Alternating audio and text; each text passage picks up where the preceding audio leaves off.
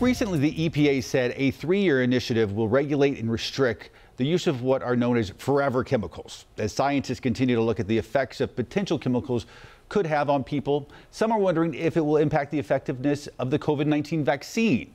Wake Up Show's Meghan Bragg verifies.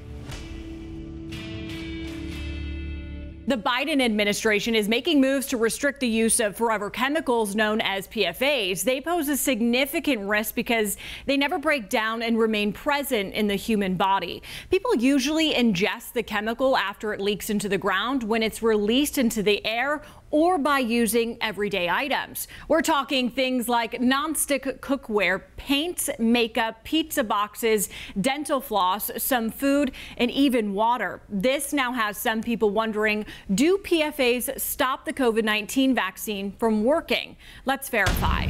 Our sources, physician Dr. Carla Robinson, cardiologist Dr. Payal Kohli, the EPA and the CDC. When did this come up? Like, when were people like, hmm, PFAs, like, let's study this? It's a relatively recent phenomenon as we're learning about things. Despite being around since the 1940s, the CDC didn't start measuring PFAs in people until 1999. They found PFAs in nearly all people tested.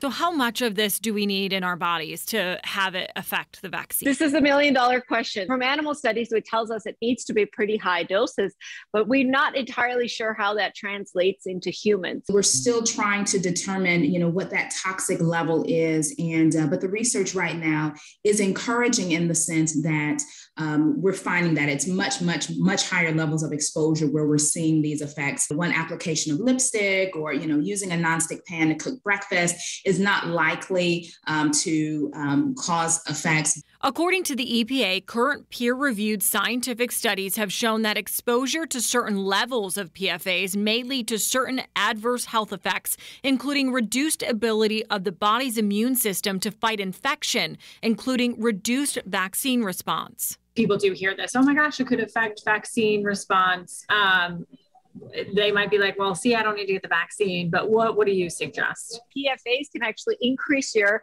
your risk of infection and the way that your body responds to infection. So, if anything, being exposed to PFAs may actually make you higher risk for infection from COVID 19. But Dr. Kohli says because basically everyone has PFAs already in their body, it's a sign that they are not stopping the vaccine from working. The reassuring thing here is that the clinical trials on the vaccine's effectiveness were done here in the United States amongst a variety of Americans who likely had PFA in their blood and they still mounted good antibody responses and they still had good clinical protection. So we can verify that no, PFAs do not stop the COVID 19 vaccine from working. However, studies are still being conducted to see how much PFA exposure can lead to health effects. Now, doctors say make sure to look at the ingredients in your products to see if they have PFAs. We have some tools to help you do that on our website, With your Verify, I'm Meghan Bragg.